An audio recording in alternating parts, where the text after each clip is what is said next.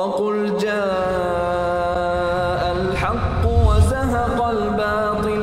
إن الباطل كان زهوقا.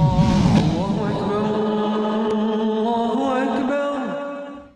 السلام علیکم ورحمۃ اللہ وبرکاتہ الحمد للہ وحدہ والصلاة والسلام علی من لا نبی بعدہ أما بعد محترم ناظرین ہم عقیدہ آخرت اور جہنم کے متعلق قرآن اور اللہ کے رسول صلی اللہ علیہ وسلم کے فرامین کو سامنے رکھتے ہوئے سنتے آ رہے ہیں۔ اسی کڑی کو مزید آگے بڑھاتے ہیں کہ عقیدہ آخرت کی چند باتیں سن لینے کے بعد جہنم کیسی ہوگی؟ جہنم میں عذاب کیسے ہوں گے؟ ایک جہنمی جب جہنم میں جائے گا، کیسی کیسی تکلیفوں کو، کیسی کیسی مصیبتوں اور پریشانیوں کو انہیں برداشت کرنا ہوگا۔ اللہ تبارک و تعالیٰ سورہ نساء میں فرماتا ہے ان الذین کفروا بآیاتنا سوف نسلیہم نارا. بے شک، جن لوگوں نے ہماری آیتوں کا انکار کیا ہے، ان قریب ہم اسے جہنم میں داخل کریں گے۔ معاملہ کیا ہوگا؟ کلما نضجت جلودہم بدلناہم جلودا غیرہا لیذوقوا العذاب۔ جب بھی جہنمی کا چمڑا جلے گا، ہم نیا چمڑا چڑھا دیں گے۔ جب بھی ایک جہنمی کا چمڑا جہنم میں جلے گا، ہم نیا چمڑا چڑھا دیں گے کیوں؟ لیذوق العذاب، تاکہ عذاب چکتا رہے۔ عذاب میں کچھ بھی کمی نہ ہو۔ ان اللہ کان عزیزا حکیمہ اللہ تبارک و تعالی غالب حکمت والا ہے۔ تو اتنا خطرناک معاملہ ہوگا۔ لہٰذا بتانے کا اور بیان کرنے کا مقصود یہ ہے کہ ہم خود سنیں، عمل کریں اور اس چیز کی دعوت دیں کہ لوگوں جہنم سے بچنا ہے۔ قرآن و حدیث کے مطابق زندگی گزاریں۔ جنت میں جانا ہے۔ قرآن و حدیث کے مطابق اس مختصر سے زندگی گزاریں جہنم کی جسامت کیسی ہوگی؟ جہنم کتنی بڑی ہوگی؟ اس کی تائید اور پھر جس کا اندازہ اللہ کے رسول صلی اللہ علیہ وسلم کی ایک حدیث سے لگاتے ہیں۔ حدیث۔ وعن ابی حریرہ رضی اللہ تعالی عنہ قال قال رسول اللہ صلی اللہ علیہ وسلم یوتا بجہنم یومئذ لہا سبعون الف زمام، مع کل زمام سبعون الف ملک یجرونہا۔ رواہ الترمذی فی ابواب صفت جہنم۔ ترمذی شریف کی حدیث ہے، راوی حدیث حضرت ابو حدیرہ رضی اللہ تعالی عنہ ہے۔ وہ فرماتے ہیں کہ اللہ کے رسول صلی اللہ علیہ وسلم نے فرمایا، یوتا بھی جہنم یوم دن قیامت کے دن جہنم لائی جائے گی۔ قیامت کے دن جہنم لائی جائے گی۔ جسامت کیسے ہوگی؟ جسامت کیسے ہوگی؟ لہا سبعون الف زمام، جہنم کی ستر ہزار لگامیں ہوں گی۔ لگاموں کا معاملہ کیا ہوگا؟ کہ ستر ہزار ایک لگام کو ستر ہزار فرشتے کھینچ رہے ہوں گے۔ سبحان اللہ۔ اللہ تبارک و تعالی ہم سب کو اس جگہ سے بچنے والا عمل کرنے کو توفیق عطا فرمائے کہ جہنم کی ستر ہزار لگامیں ہوں گی۔ اور ایک لگام کو کھینچنے کے لیے ستر ہزار فرشتے مقرر ہوں گے۔ اتنا اہم معاملہ ہوگا اور جہنم کی جسامت اتنی زیادہ ہوگی۔ جہنم کی آگ کا کیا معاملہ ہوگا؟ جہنم کی آگ کا کیا معاملہ ہوگا؟ کیسی آگ ہوگی؟ کیا دنیاوی آگ جیسی جہنم کی آگ ہے؟ نہیں۔ ایک حدیث سے اس کی تائید ہوتی ہے کہ جہنم کی آگ کتنی خطرناک ہوگی۔ حدیث وعن ابی حریرہ رضی اللہ تعالی عنہ قال قال رسول اللہ صلی اللہ علیہ وسلم، نارکم هذه التي يوقد بنو آدم جزء واحد من سبعین جزءا من حر جہنم. قالوا والله ان كانت لكافية يا رسول الله قال فإنها فضلت بتسعة وستين جزءا كلهن مثل حرها رواه الترمذي في ابواب صفة القيامة ترمذی شریف کی حدیث ہے. راوی حدیث حضرت ابو حریرہ رضی اللہ تعالی عنہ وہ فرماتے ہیں کہ اللہ کے رسول صلی اللہ علیہ وسلم نے فرمایا، نارکم هذه التي يوقد بنو آدم۔ کہ لوگو، تم جو آگ جلاتے ہو کھانا پکانے کے لیے، دنیا کی گرمی حاصل کرنے کے لیے جو آگ جلاتے ہو، اس آگ سے جہنم کی آگ انہتر حصہ شدت کے اعتبار سے بڑھ کر کے ہے۔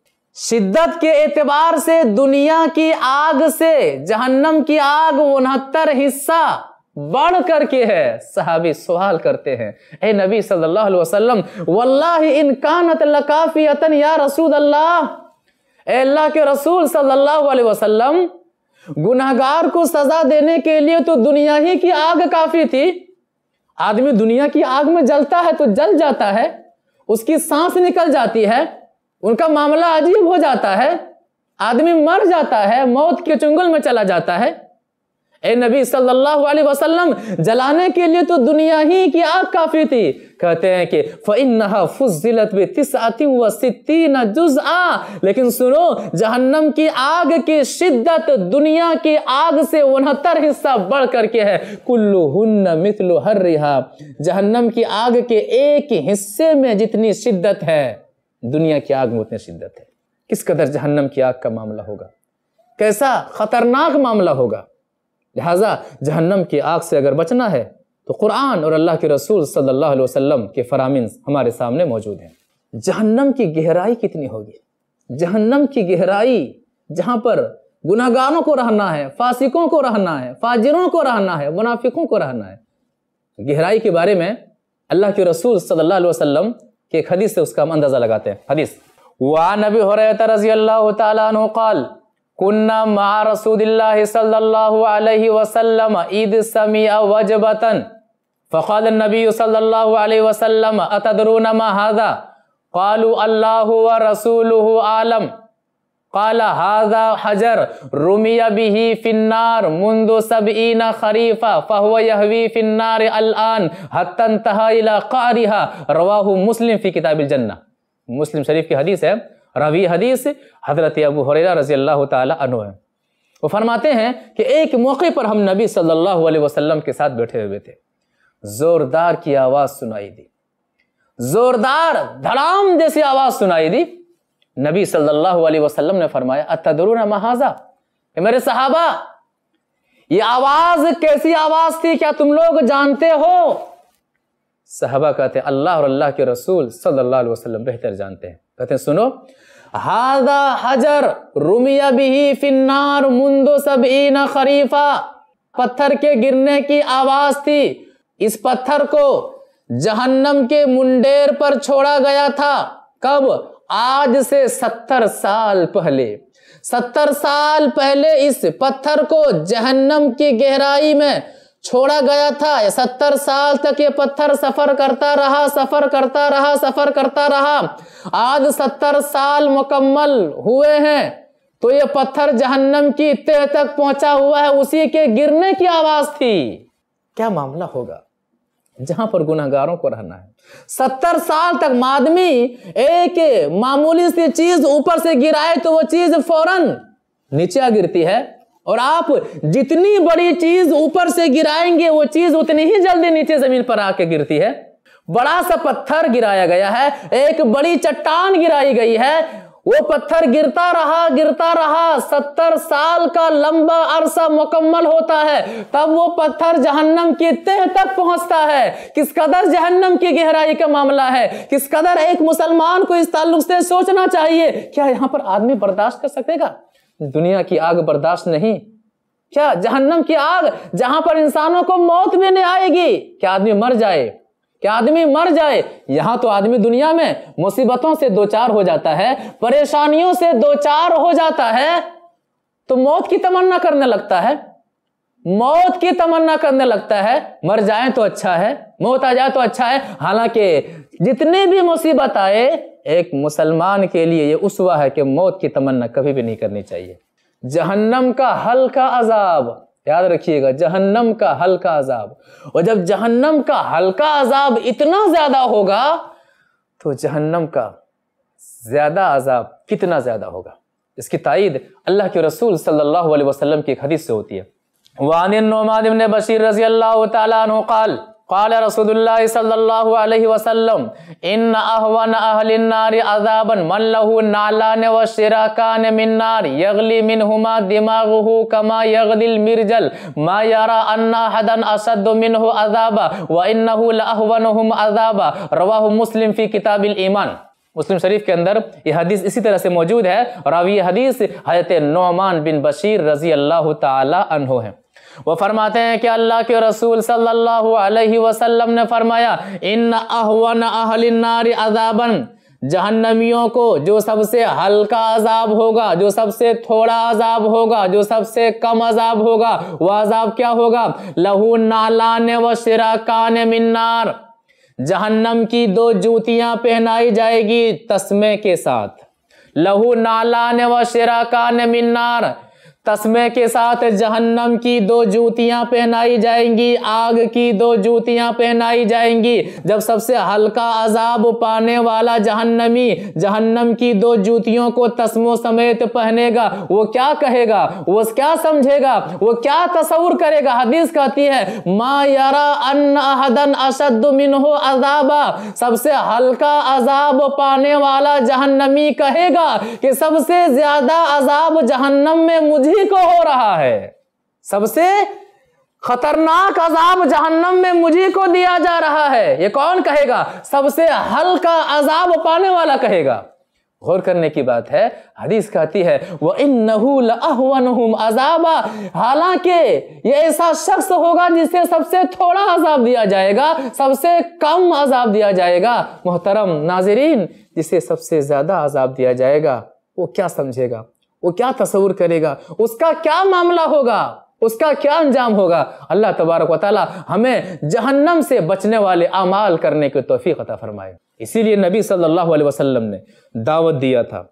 دعوت توحید نبی صلی اللہ علیہ وسلم دے رہے ہیں اور جہنم سے بچنے کی تلقین کر رہے ہیں، جس کی تائید اللہ کے رسول صلی اللہ علیہ وسلم کی حدیث سے ہوتی ہے۔ حدیث وعن ابی حریرہ رضی اللہ تعالی عنہ قال قام رسول الله صلى الله عليه وسلم حين انزل الله وانذر عشيرتك الاقربين يا معشر قريش او كلمه نحوها اشتروا انفسكم لا اغني عنكم من الله شيئا يا بني عبد مناف، لا اغني عنكم من الله شيئا يا عباس بن عبد المطلب، لا اغني عنك من الله شيئا يا صفيه عمه رسول الله لا اغني عنك من الله شيئا يا فاطمه سليني ما شئت مما لا اغنی ان کی من اللہ شیعہ رواہ البخاری فی کتاب التفسیر بخاری شریف کی حدیث ہے راوی حدیث سے جیسا کہ معلوم ہوا کہ حضرت ابو حریرہ رضی اللہ تعالی عنہ ہیں وہ فرماتے ہیں کہ جب آیت نازل ہوتی ہے وَأَنذِرْ عَشِيرَتَكَ الْأَقْرَبِينَ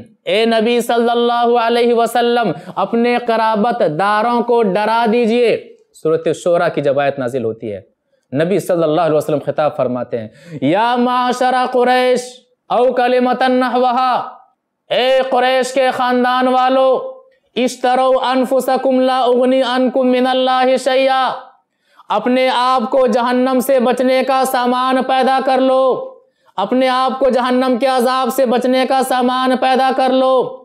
اپنے آپ کو آخرت میں کامیاب ہونے کا سامان پیدا کر لو۔ اپنے آپ کو آخرت میں عذاب الہی سے نجات پانے کا سامان پیدا کر لو۔ کیوں؟ لا اغنی انکم من اللہ شیعہ اللہ کے مقابلے میں میں تمہارا کچھ بھی کام نہیں آ پاؤں گا۔ یعنی اگر اعمال شریعت کے مطابق نہیں ہوں گے، اگر تم نے دنیا کے اندر میری اتباع نہ کی، میری اتباع کے مطابق تم نے عمل نہیں کیا، کل قیامت کے روز پچھتانا پڑے گا، افسوس کرنا پڑے گا۔ گا لیکن وہاں افسوس کرنے سے کوئی فائدہ نہیں ہوگا۔ اے بنی عبد مناف، اپنے آپ کو جہنم سے بچنے کا سامان پیدا کر لو۔ کل قیامت کے روز آخرت کے مقابلے میں میں تمہارا کچھ بھی کام نہیں آؤں گا۔ اور قریب آتے ہیں۔ یا عباس بن عبد المطلب، اے میرے چچا، عباس، کل قیامت کے روز میں رب کے مقابلے میں آپ کا کچھ بھی کام نہیں آ پاؤں گا۔ یا صفیہ امت رسول اللہ اے نبی صلی اللہ علیہ وسلم کی پیاری پوفی صفیہ، کل قیامت کے روز آخرت کے دن حساب و کتاب دینے کے لیے جو کرنا ہے، اسی دنیا کے اندر تیاری کر لیں۔ رب کے مقابلے میں میں تمہیں کچھ بھی فائدہ نہیں پہنچاؤں گا۔ اور قریب آتے ہیں، پیاری بیٹی، چہیتی بیٹی حضرت فاطمہ رضی اللہ تعالی عنہ سے فرماتے ہیں۔ سب سے پیاری بیٹی حضرت فاطمہ رضی اللہ تعالی عنہ۔ جگر کا ٹکڑا۔ جس کے بارے میں نبی صلی اللہ علیہ وسلم نے فرمایا تھا کہ لوگوں فاطمہ میرے جگر کا ٹکڑا ہے، جس نے فاطمہ کو تکلیف دیا، اس نے محمد الرسول اللہ صلی اللہ علیہ وسلم کو تکلیف دیا۔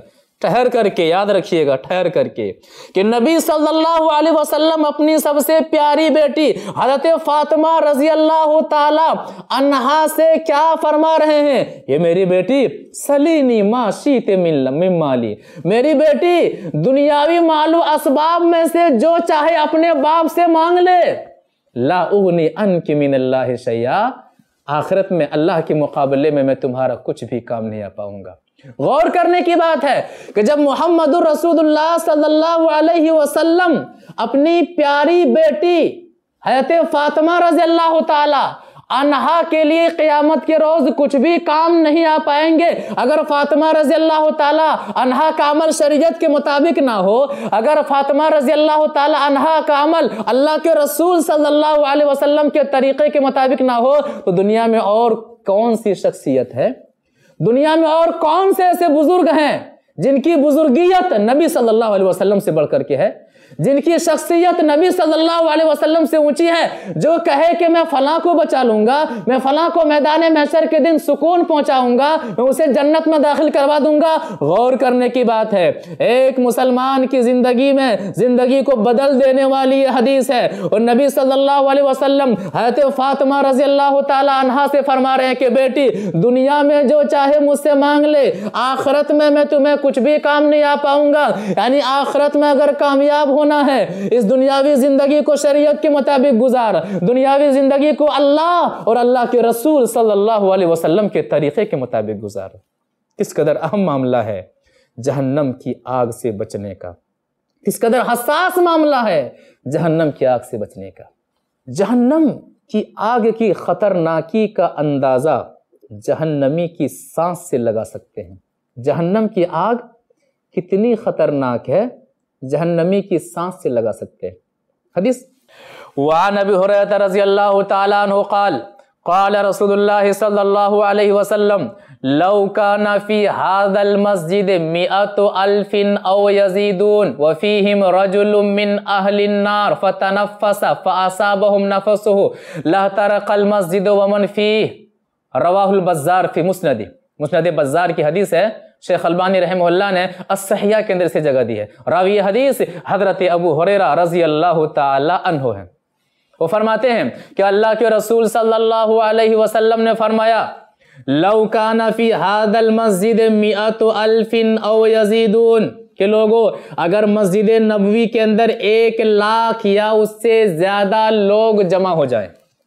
اگر مسجد نبوی کے اندر ایک لاکھ یا پھر اس سے زیادہ افراد جمع ہو جائیں اور ان ایک لاکھ یا اس سے زیادہ افراد میں صرف ایک آدمی جہنمی ہو، صرف ایک آدمی، صرف ایک آدمی جہنمی ہو۔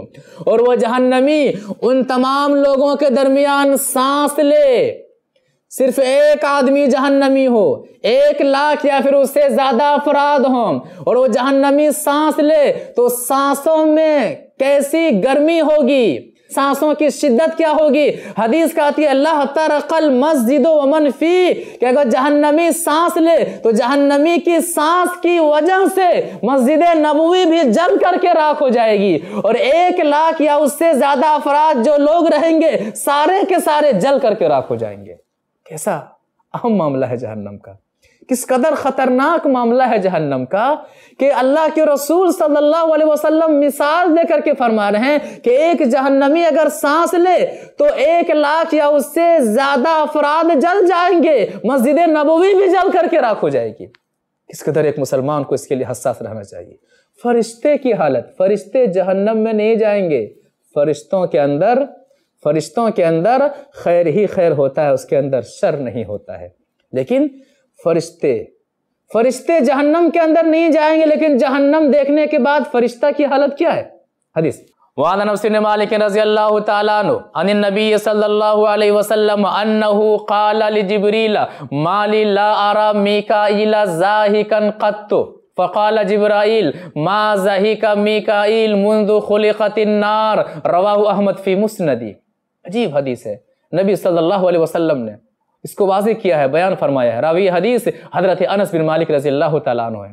کہتے ہیں کہ نبی صلی اللہ علیہ وسلم نے جبریل علیہ السلام سے پوچھا کہ جبریل، مالی، لا ارا میکائیل ظاہکن قط، کہ جبریل، سب نے میرا استقبال اچھے انداز میں کیا، خوشی خوشی کیا، جبریل میں کیا کیا معاملہ ہے؟ کہ میں میکائیل کو کبھی بھی ہنستے ہوئے نہیں دیکھا۔ حضرت جبریل علیہ السلام بتلاتے ہیں کہ ما زہی کا میکائیل منذ خلقت النار، جب سے اللہ تبارک و تعالیٰ نے جہنم کو پیدا کیا ہے اور میکائیل نے جب سے جہنم کو دیکھا ہے، ہنسنا بھول گئے ہیں۔ اس قدر خطرناک معاملہ ہے جہنم کے تعلق سے۔ کیا فرما رہے ہیں؟ فرشتے جہنم میں نہیں جائیں گے۔ فرشتوں کے اندر خیر ہی خیر ہوتا ہے۔ فرشتوں کے اندر شر نہیں ہوتا ہے۔ جہنم میں انسان جائیں گے، جہنم میں جنات جائیں گے۔ ان میں سے جو گناہگار ہوں گے، فاسق ہوں گے، فاجر ہوں گے مشرق ہوں گے، ان کے لیے جہنم کی آگ ہے، ان کے لیے جہنم کا عذاب ہے، ان کا ٹھکانہ جہنم میں ہے۔ لیکن کیا فرما رہے ہیں؟ ما زہی کا میکائیل منذ خلقت النار کہ جب سے اللہ تبارک و تعالیٰ نے آگ کو پیدا کیا ہے میکائیل علیہ السلام ہنسنا تک بھول گئے ہیں۔ کس قدر اہم معاملہ ہے؟ ایک مسلمان اگر چاہتا ہے کہ جہنم سے ہم بچ جائیں، ایک مسلمان اگر چاہتا ہے کہ اللہ کے رسول صلی اللہ علیہ وسلم کا طریقہ اپنائیں، تو عملی طور پر اپنائیں۔ اور اگر عملی طور پر اپنائیں گے، تو یہی وہ طریقہ ہے جس کی وجہ سے ایک آدمی جہنم کے عذاب سے بچ سکتا ہے، جہنم کے کھانے سے بچ سکتا ہے، جہنم کے پانی سے بچ سکتا ہے، اور جہنم کی خطرناکی سے بچ سکتا ہے، جہنم کی ہولناکی سے بچ سکتا ہے۔ قرآن مجید کے اندر اللہ تبارک و تعالیٰ سورہ ملک کے اندر فرماتا ہے، وَلِلَّذِينَ كَفَرُوا بِرَبِّهِمْ عَذَابُ جَهَنَّمْ وَبِيسَ الْمَصِيرِ۔ کافروں کے لیے جہنم کا عذاب ہے۔ کافروں کے لیے جہنم کا عذاب ہے، جنہوں نے کفر کیا ہے۔ اللہ کا انکار کیا ہے، شریعت کی باتوں کا انکار کیا ہے۔ وہ بِئْسَ الْمَصِيرِ۔ برا ٹھکانہ ہے۔ کیوں نہیں برا ٹھکانہ ہے؟ کتنا برا ٹھکانہ! جہنم کی گہرائی اتنی زیادہ کہ ستر سال تک پتھر گرتا رہے، تو ستر سال کے بعد وہ پتھر تہ تک پہنچے۔ وہ بیس المسیر کہہ کر کے قرآن متنبع کر رہا ہے کہ لوگوں جہنم کی آگ سے بچنے کا سامان پیدا کر لو۔ جہنم کے عذاب سے بچنے کا سامان پیدا کر لو۔ جہنم کی ہولناکی سے بچنے کا سامان پیدا کر لو۔ اور جہنم کی خطرناکی سے بچنے کا سامان پیدا کر لو۔ اللہ تبارک و تعالی ہم تمام کو جہنم سے بچنے والے اعمال کرنے کی توفیق عطا فرمائے۔ محترم ناظرین نشست کا وقت اب ختم ہوتا ہے۔ اگلی نشست میں اسی موضوع کی وضاحت کے لیے دوبارہ آپ حضرات کے روبرو ہوں گے۔ تب تک کے لیے دیجیے اجازت۔ السلام علیکم ورحمۃ اللہ وبرکاتہ۔